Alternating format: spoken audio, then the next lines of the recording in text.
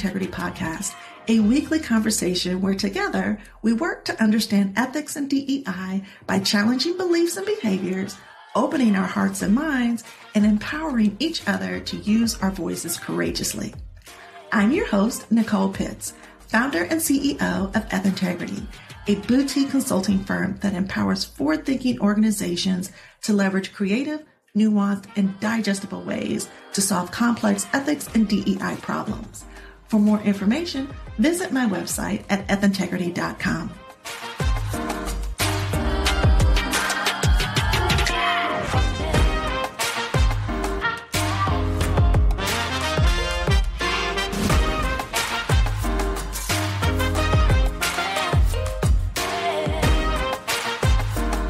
created what's called Inclusive Design Jam, which I am totally fascinated by.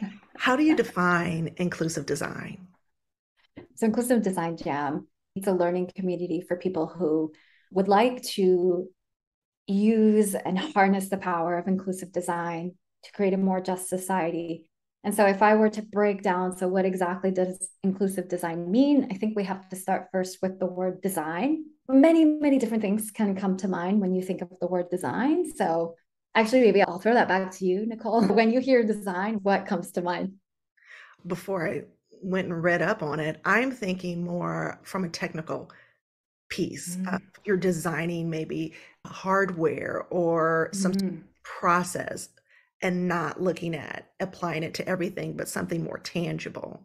Yeah, so that's a really good point. And I think there are many different ways that we can define design. I think a lot of the times what people tend to think of are kind of a very professional definition of design. So what you described is like industrial design or product design, fashion design, graphic design. So mm-hmm. these are the sorts of objects, whether they're digital or physical, that we encounter in our day to day lives where someone behind the scenes has brought in a certain level of craft, certain level of expertise into intentionally bringing something to life that we as people will use. And I think that kind of gets us closer to the definition of design that I like to use, which is pretty broad. It's basically being able to bring some sort of imagined idea that we have to life to be able to make that concrete and to do that with certain intentionality. When we use that definition of design, it means that anything can be designed. We can be intentional about designing an experience. So, for instance, our conversation is something that can be designed with intention to structure it in a specific way, have it flow naturally, have the audio sound a certain way. You can have control over the visuals, over the sequencing, all of those are design decisions that you're making that make it so that whatever you imagine in your mind becomes something concrete that we live and experience as people. And in that respect, when we add inclusive onto it, it's all about thinking whatever I'm designing, whether it's a product, a service, an experience, an environment, or physical space, how can we ensure that people across the full range of human diversity can fully access what I'm designing or what I'm building and that they can fully benefit from it. Mm-hmm. And this is where my definition of inclusive design actually even goes beyond just inclusion. I do intentionally bring equity into the fold as well. So it's like whatever I'm building, how can I ensure that not only as many people as possible can use access and benefit from the solution, but also how can I be intentionally breaking down barriers to access? So anticipating ways that my solution may not be able to be accessed by especially the most marginalized groups in society. And how can I make specific design decisions so that exclusion doesn't happen? If I were to wrap it up and with a bow, it's an approach, it's a mindset, it's a practice that ensures that everyone regardless of their identity or background, can fully access and benefit from products, services, and environments that we build. What this means is that you don't have to be a designer on paper to be mm-hmm. able to practice inclusive design. We can all be much more intentional about how we make decisions, how we bring solutions to life to ensure that they are inclusive and that they're equitable. So, what are the benefits of inclusive design, both for us personally and as a Yeah. society? Yeah. To me, if we practice inclusive design in our Mhm. everyday lives, we're contributing toward driving change in society. I mean, if you are an architect and you're creating plans for a new building and you're thinking about inclusivity from the very start, so it's not something that maybe is enforced on you by the rules and regulations of your industry or of the project you're on, but it's something that inside of you, it's an important value for you to integrate inclusivity and equity in whatever you do in the world and in what you build. To me, like if we were to amplify that and multiply that across all professions in the world and across even our day to day experiences, I think that we would get, I mean, I'm not trying to be an idealist here, but I think we could get to a world or a society where our cultivating belonging through not just culture and organizations and where we see DEI traditionally, but also in the day to day decisions, in our practices, in our interactions with other people. So to me, you can design a conversation like, how can I be much more inclusive? If I'm going to be on a podcast with Nicole, how can I ensure that I make this experience as inclusive as possible? What are the ways that I will do that? It's that level of intentionality behind it that Mhm. you're really being thoughtful, you're experimenting with different kind of iterations of your idea, you're prototyping them. So you may be bringing them to life in different ways, testing them and see what actually has has an impact on people. And so to me, I feel like the benefits are that you're going to be much more innovative, uh, whether it's in your personal life or in the workplace. You're going to be building products that can extend to a larger group of people in the world. They're going to be able to serve many more use cases, be able to address many more needs because you are bringing in those perspectives into your design process. So instead of saying, like, how can I design for the majority of people or for the average user, for the default user? And we know that maybe some of us don't know this, but what's problematic about the traditional way or the typical way that people design is that they're designing for this average user that actually embodies certain sorts of identities that are dominant in society. And by this, I mean designing a microphone that someone is going to use. And so if I'm a designer that belongs to a majority group, so I might be able bodied, I might be neurotypical, I might be a white man of a certain stature. Um, I'm not necessarily by default, because my design training may not have educated me in this way, to be thinking of what are the potential barriers of access to using this product, or what are the potential needs that may not be served if I were to only design for people who look like me and who have the same level of ability or same life experiences. That's kind of what's happening today. So, for instance, what about the person who may be deaf? What about someone who may be an amputee and can actually move the mic around with their hand? This is where the goal is to challenge people to reconsider what does it mean to design for the average user how can we expand the definition of average user to actually be reflective of like i mentioned earlier this full range of human diversity so mm-hmm. across ability neurodiversity gender identity sexual orientation age race ethnicity language et cetera et cetera how yeah. can we start to bring those internal intersectional perspectives into the design process so that we are not just creating products and services and again solutions as a whole that cater to the most privileged people in society and that unfortunately end up being exclusive by design i really like what you've said about ensuring that you are not exclusive towards and having your ideal client fit into these certain majority buckets but that you're looking at expanding the offering. so for that how do you measure the effectiveness and impact of that inclusive design to show that this actually brings benefit to the organization versus what they were doing before. Yeah. And I think this is always the hardest part. And I mean, a lot of companies that are leaning into inclusive design, you see this in especially large tech companies, mostly in the US. And in conversations with lots of practitioners who are doing this work in house, they find that it is most challenging to get proof points to be able to prove that, for instance, if we were to do research with a more diversified group of people who represent many different identities and lived experiences, how can we prove that doing research with those individuals leads to a better product? And when I say a better product, it means a product that solves people's problems more effectively because they've been able to anticipate the potential barriers mm-hmm. that people may face and they've been able to problem solve that before the product goes to market. Another aspect is thinking about potential harm that a product can generate. So there are products that actually hurt people, and we can think of harm under many different lenses. So we have not just physical harm, but emotional harm, psychological harm.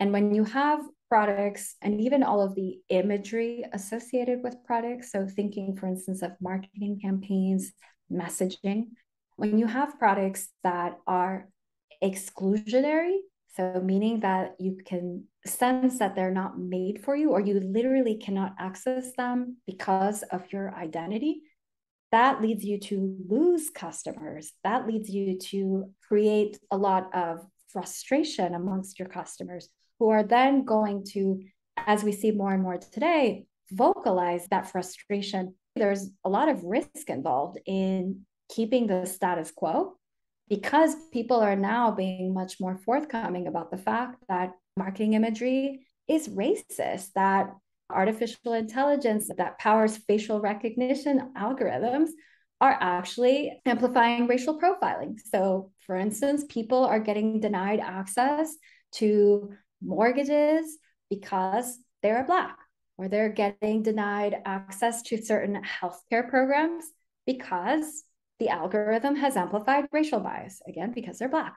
And so, when you start to see these patterns of, for instance, racial bias, gender bias, ableism, homophobia, we start to see that all these patterns that emerge in society get embedded and amplified in products and services that we build.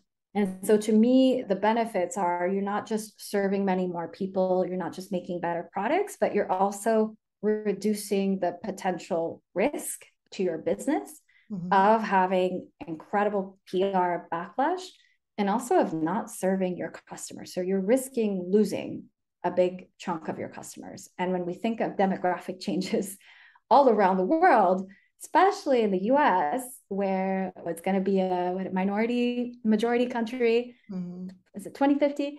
We see that this is going to actually make a big dent to your business if you're making products that are racist or that are oppressive and exclusive.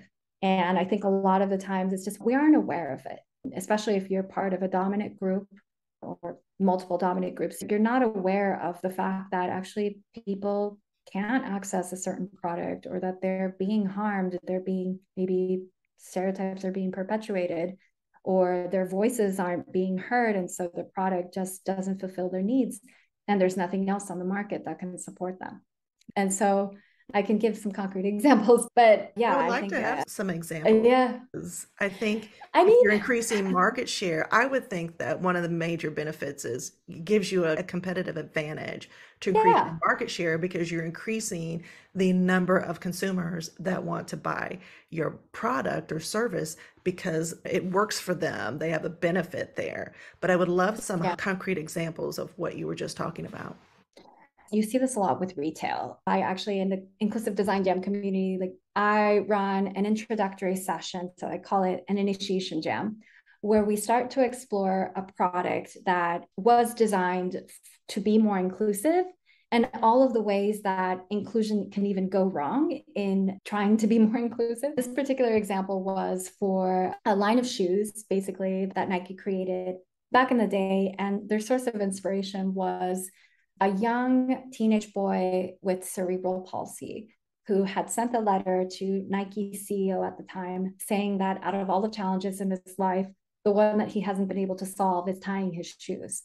And so already it shows us that shoes with laces by default are exclusive because if you have any sort of condition that affects your ability to use your hands, or if maybe you're old and you can't bend down anymore, or perhaps you may actually be an amputee at the level of your arms or at the level of your feet, you may not even have shoes that fit your bionic leg, for instance, bionic foot all of these are examples of the fact that shoe by default is created for people who have two feet and two arms and who have full control of their body.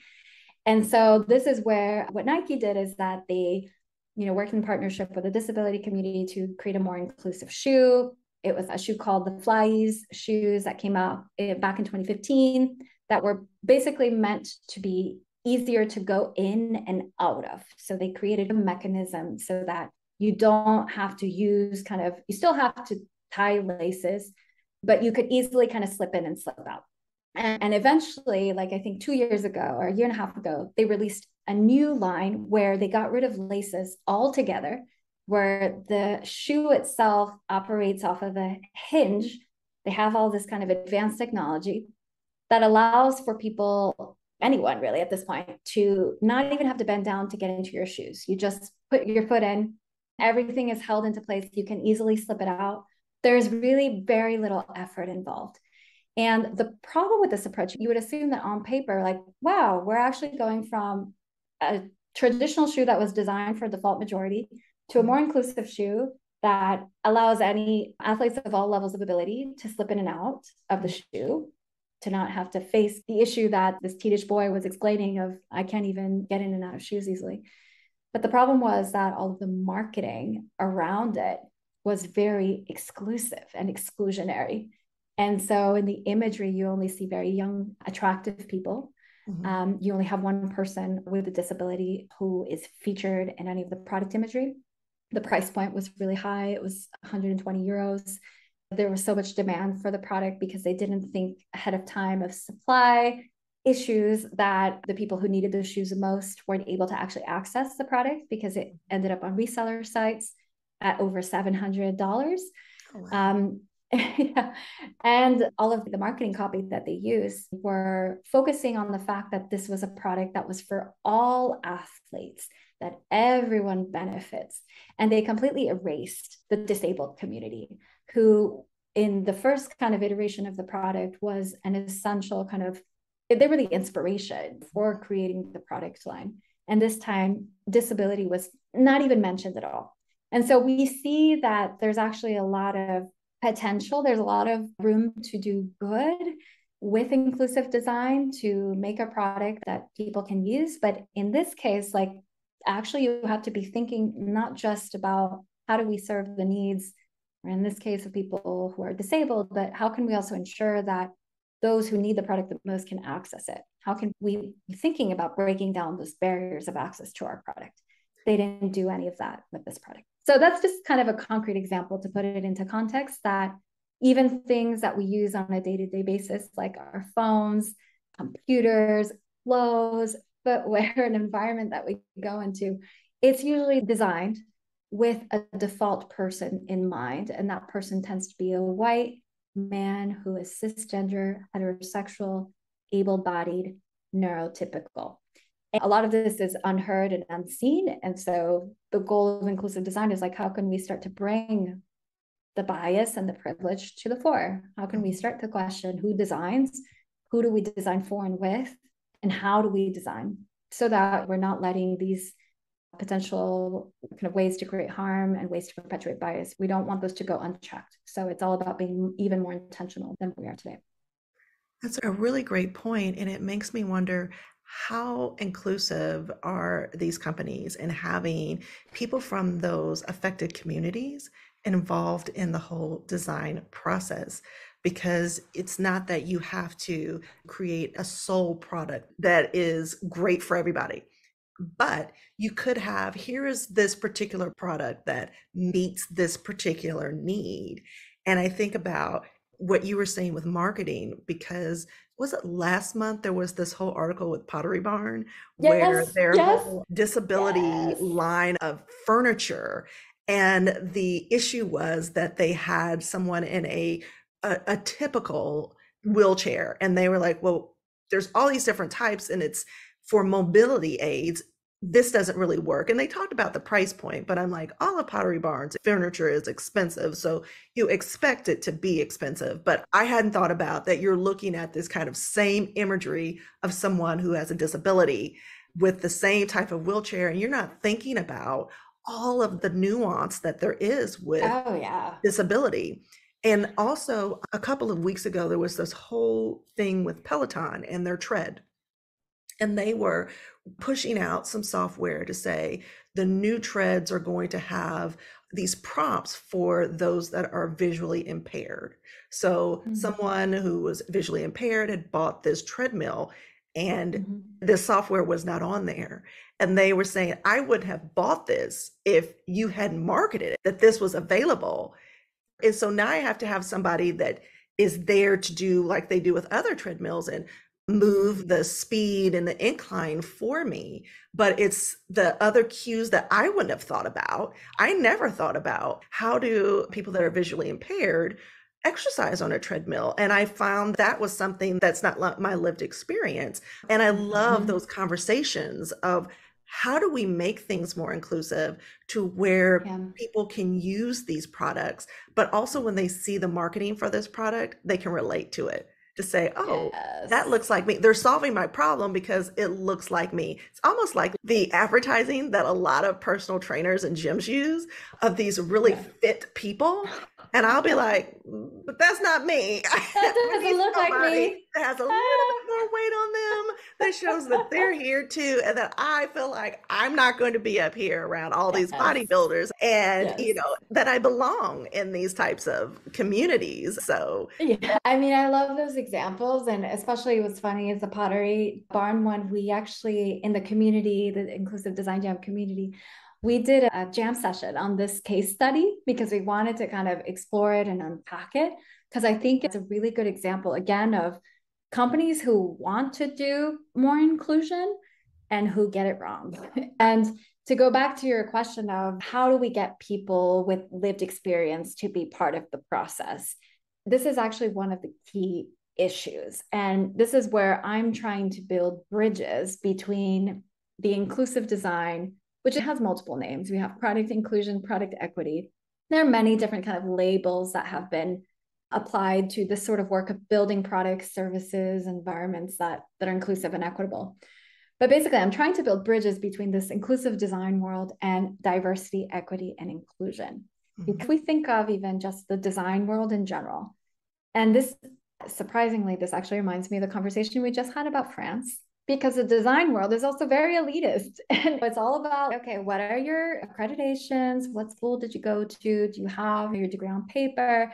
There's already a diversity problem in the design profession. The design profession is very large everything from architects to fashion designers to interactive designers. Like there's all sorts of design that exist in the world, but it does tend to skew towards specific demographics. And so when you look at representation within design teams, and not just design teams, like product teams, marketing teams, just people inside a company outside of HR who are building things and putting them out into the market, these teams are not necessarily representative of a full range of human diversity. Mm-hmm. And so what happens is that a lot of the DEI work from a talent and a culture perspective tends to be disconnected with the design and product and marketing work that's happening on the ground.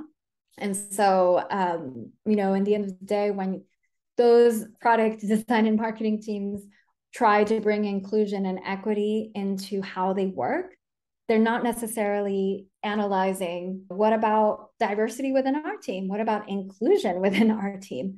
And so to me, this is where there's an opportunity to really connect DEI work that's happening from a talent and culture perspective to actual business practices. So, how can we activate DEI principles in marketing work, in design work, and product work?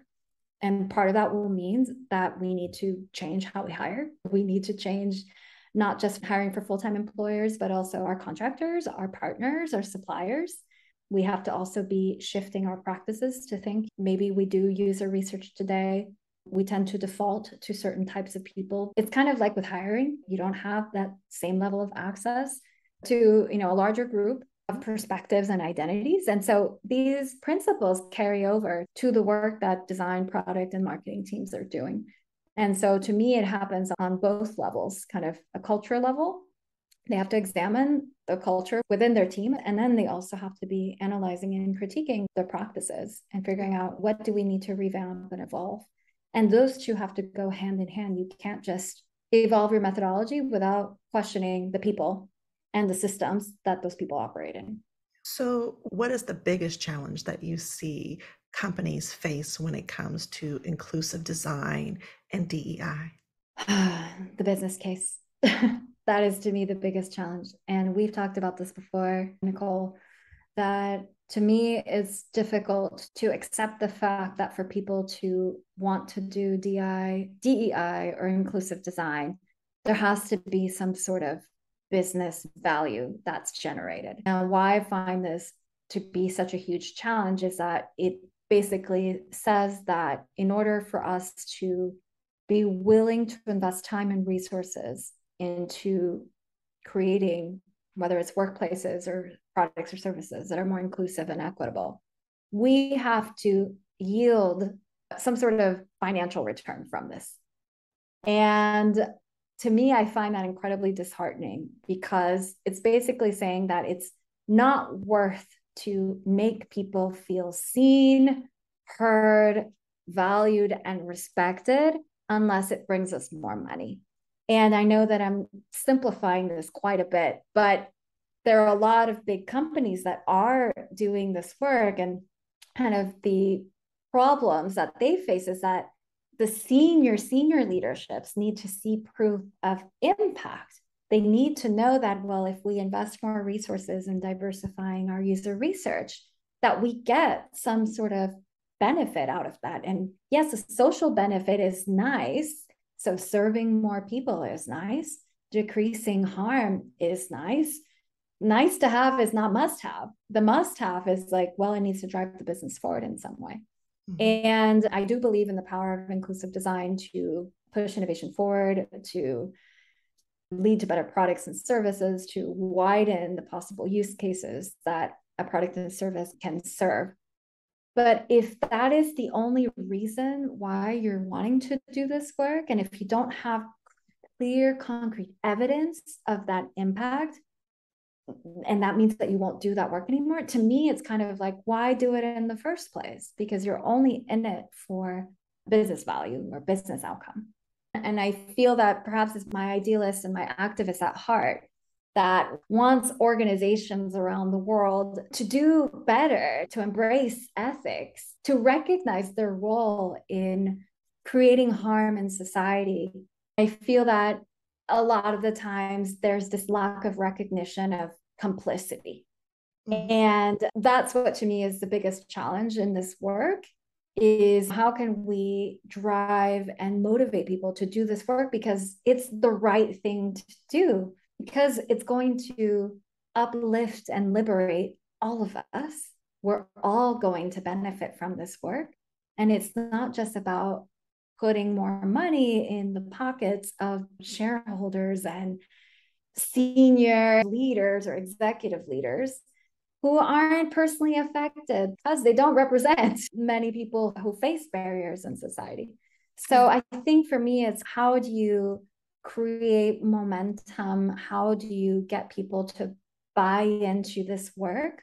And how do you start to detach it to that business case so that if you aren't able to have these incredibly concrete proof of impact, and I'm just saying there are studies that exist there are studies that show that this happens, meaning that there is business value to be retrieved from this work or drawn from this work.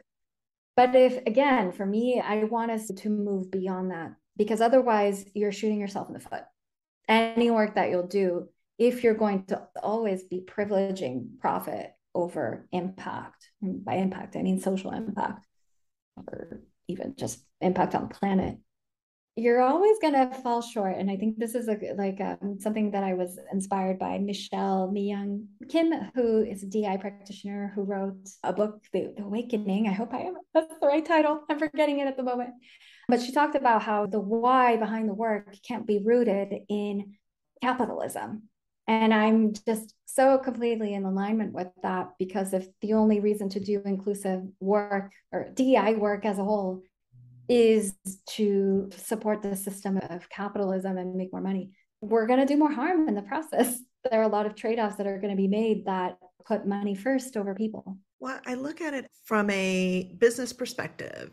There's always a journey and I saw this with ethics and compliance to where they were like, okay, this is a cost center, like DEI is a cost center, HR, if you're not generating revenue, you're a cost center. So you have to justify your budget to the C suite and the board. And part of that is yeah. that's where your business case comes in. And mm-hmm. I look at it as how do I bring you to the table so that you understand the value of this?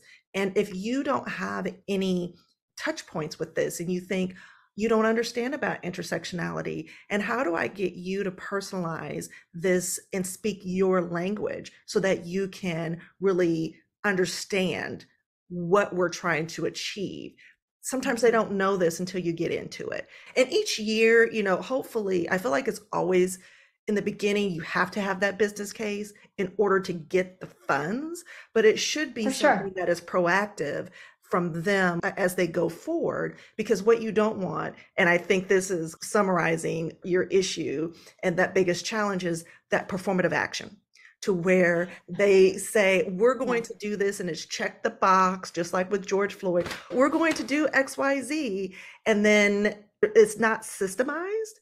It's not embedded into the company's dna Nope. So, how do you make this to be sustainable but also mm-hmm. effective. Mm-hmm. And that is, you know, one of my biggest challenges that I see with companies is that when they don't invest the proper resources, it becomes more of a DIY DEI.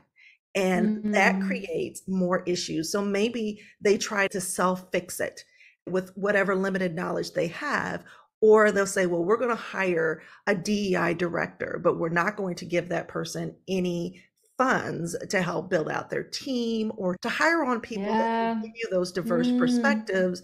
And then you mm-hmm. have something like this one elementary school that made all of their bathrooms non binary. And it was like, mm, okay, but what about these other groups? What about religious groups? What about all these mm. other mm-hmm. things? And especially as children are going through puberty and all of that, you do need separated bathrooms as well as non-binary. So it's how do we be more inclusive of all perspectives instead of trying to go to what's the loudest or what you're seeing just as this is what we're hearing about so we're going to change everything to fit this one perspective. And now to fit one you've got complaints from five. And by exactly. or seeking out even those multiple perspectives because you and I have talked about how mm-hmm diverse just DEI practitioners are and how we all come at this from such a different view mm-hmm. based upon our lived experience and how we even approach this discussion. Some are more powerful in how they want to speak and hold that accountability. Some of us are like, let's try to bring you to the table because we know this is an uncomfortable topic, but I want to get you comfortable with asking the questions it's just we all approach it a different way. And I think there's value in each of those approaches, which is why I feel like companies need to ensure that they rotate out and get a lot of different perspectives because of mm-hmm. lived experience, maybe the neurodivergent experience, the disability, awareness, LBGTQ, all of these mm-hmm. different things, even yeah. the visually impaired. Or are we speaking from how are our policies written? Are they at mm-hmm. a collegiate level? But this is a workforce that yeah. the majority is in manufacturing, and maybe they have had just a high school education. Mm-hmm. And we're using very legalese words that it's very mm-hmm. hard for mm-hmm. people to be able to say, I don't know what this is. And it's a 50 page document, and I don't have time to read and digest this and do my job. Tell me what yeah. I need to do. So exactly. it's getting those types of perspectives Exactly. Yeah. And I mean, and I get you like you need the business case to bring people to the table like you said it's about meeting them where they are like they care about profitability they care about reducing costs like i understand all of that and i'm in full agreement that we can't just throw that aside and throw it away and say like run your business completely differently because you know we know what system or why when i say we know like i know that companies operate in a system of capitalism and profitability it's a requirement for many many businesses i think over time if we see hopefully we'll see change within representation and leadership in terms of the types of perspectives that are reflected there and i think that that can also change how businesses are run over time because you have this kind of fresher take on how to run a business. Yeah. You have that fresher take at a more executive level. And to me, at least, like with my mission, with the community that I'm running, with the work that I do, like I want to raise awareness amongst the general public so that I had already referenced all these people who are engaging in critique who are calling out these big companies for the crap that they're doing, for the harm that they're generating, for the exclusivity of their products and services and marketing campaigns. To me, I want there to be more and more and more of that so that the leadership and even the shareholders start to see that, like, hey, like there's some tides of change happening amongst consumers. They're on to us, as we see with Gen Z. Gen Z mm-hmm. is also, and Gen Gen Alpha, I think that's the name of the new one, the yeah, you know, the next one. But they're also the workers of the future. And so if you think of not just uh, brand loyalty and brand perception from a, like a consumer perspective, but also employer branding in terms of attracting and retaining future generations of talent, like these values are important, not to, and I don't want to generalize, not to the entire you know generation but to a larger proportion of these generations compared to previous generations.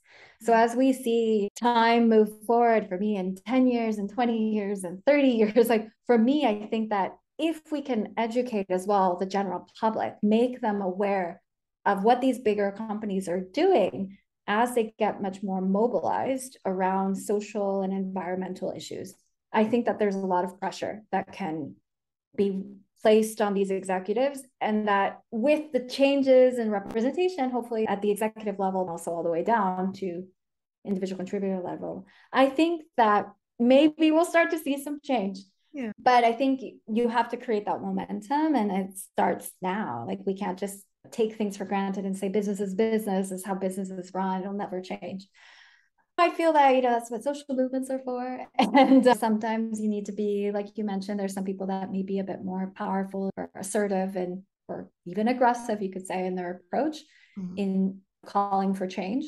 And I think there's obviously room for all sorts of voices in this, yeah. but I do think that for the most part, yeah, we need to not be acquiescing. I love that because challenge does equal change. So mm-hmm. even if it might be incremental, like yeah. in France, for instance, it's gonna take some time, mm-hmm. but we gotta we gotta keep working at it. Exactly. Yeah. Exactly. Mm-hmm. Yeah. So if you could give your 18 year old self a piece of advice that you wish that you had known then that you know now, what would it be?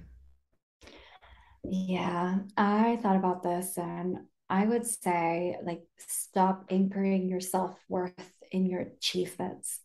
I think this has been something that I've carried with me a big part of my life. Maybe it's the immigrant, like the legacy of being an immigrant in multiple countries that you always have to be working really, really hard and you have to be achieving and you have to kind of prove your worth.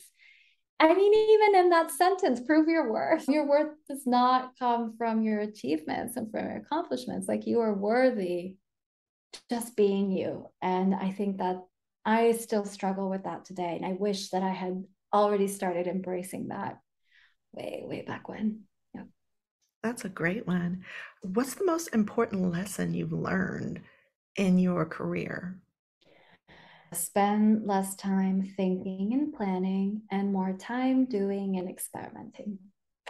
And this is where I learned this from um, all the work that I was very lucky to do around innovation and design thinking. And you know if you have to have a bias towards action and i love to analyze things and reflect and there's room for that. I think it's very important to be reflexive and to be asking questions. But if you're just in that space in that headspace and you're not translating that into meaningful action especially at least in my career i found that it really held me back in getting towards joy and fulfillment and, and meaning mm-hmm. um, in my work. And it's only when I leaned into hands on experimentation, did things regardless of the outcomes, and there was a lot of failure. only then did I realize, like, oh, I'm, I'm actually moving forward and I didn't need to spend all that time planning and strategizing. So, what was your to, biggest failure and what did you learn from that?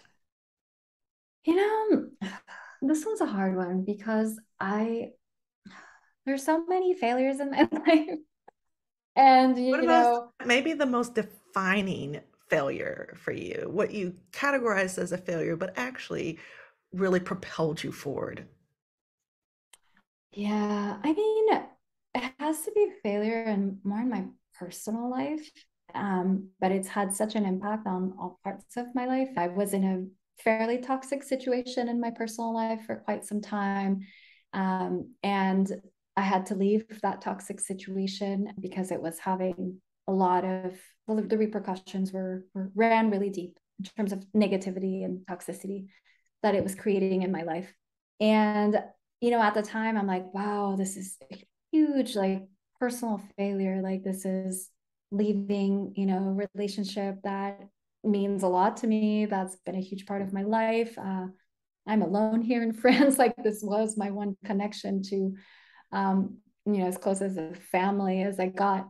And um, it seemed like a huge failure, but from that, I've learned the importance of boundaries. And I think that there have been multiple failures that have been very similar to this failure of not leaving a toxic situation early enough and letting that create a lot of harm, both mentally and emotionally. And I feel that the lessons that I learned from that is like, oh, wow, like boundaries is what it's all about. Like, not only do I need to set boundaries, but I need to be firm with those boundaries and that being firm with boundaries doesn't mean that you're selfish it doesn't mean that you're a bad person mm-hmm. and it's taking me a lot of time to deprogram that sort of thinking um, and i think it's opened me up to a lot of new things in life like professionally and, and personally just realizing that hey like i can have my needs i can have my wants and desires my idealist aspirations in the world. And so long as I have a clear sense of who I am, what I will tolerate or not tolerate, even with my clients, which clients I will and won't work with, what are my values, what are those non negotiables, it's changed so many things. And this is a recent lesson. Mm-hmm. I mean, within the past year, but it's made a tremendous change. Yeah. Yeah. I love boundaries. And we've talked about this before is really yeah. looking at our lives and where we need to put those in place so that we can be our best versions of ourselves. And I look at that also as a form of self-care. Oh, absolutely. Is there something that you do from a self care other than boundaries? Is there something that you do yeah. just to make sure that you have a good balance and that you're not out here running around like, oh my God, yeah. I'm trying to solve all these problems and it just feels so overwhelming? Yeah. So I know that I have the privilege to do this. This is quite a luxury, but I sleep in and I sleep in during the week. And I like make it a point, mostly because I do work and have calls quite late in the evening. Uh, but I lean into flexibility to its fullest degree. And in the morning, if I am not feeling well, if I have not slept well, I don't guilt myself and say, you need to be up by, I was going to say nine, but I feel a lot of people would be like, nine, that's late. You know, there are days I might wake up at 10. I might wake up at 10 30. And it's like maybe the night before I work till 9 p.m. or 10 p.m. Or maybe I didn't but I give myself the freedom to listen to my body and say, if my body says I'm not feeling well or I need more rest, I lean into that. And sometimes I make it up over the weekend. I try to get out of the nine to five. I try to get out of the pure business hours mentality because I feel that it can be a bit restrictive for me. So exactly. sleeping in even during the I love that. Yeah, I mean, yeah. sleeping in, listening to your body, because so many times we don't. We just try to push yeah. through and, you know, we don't even need to make it up because you can be very, very efficient and the I think hours so. I was like, working. you're more productive. So I'm like, I saved myself two hours of wasted time, you know? But again, it's deprogramming and unlearning exactly. because in the back of my mind, I'm like, oh, you only work six hours today. I'm like, you got to make that up tomorrow. It's that corporate mindset where you're like, yeah, well, my own yep. business now. I don't have to call in, say, Sandra, this is Sandra. I'm going to sleep in today. I'm not going to make it to the morning stand up, yeah. you know? Sorry. Yeah. Yes, yeah, no. that is great. So, where can our listeners find you online? Most days, I'm most present on LinkedIn. So you can find me there under Sandra Camacho, but I am venturing more onto other social media platforms. So you can find me on Twitter. I occasionally tweet under Sandra by Design, and you'll soon find me on Instagram and on YouTube as I'm looking to engage more in awareness building around inclusive design on those platforms. So find me there under Sandra by Design. Perfect. Well, I will make sure that in the episode description it includes your website as well as your socials yes. so that they can connect with you there. Thank you so much, Sandra, for Thank such you, a great conversation. This was amazing. Learn, yeah, I always learn something from you. If Vice versa.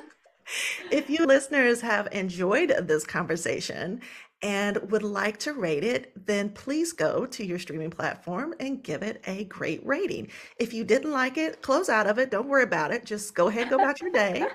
But thank you to you listeners and thank you to Sandra for joining me today for this really great discussion about inclusive design and how it impacts us and society.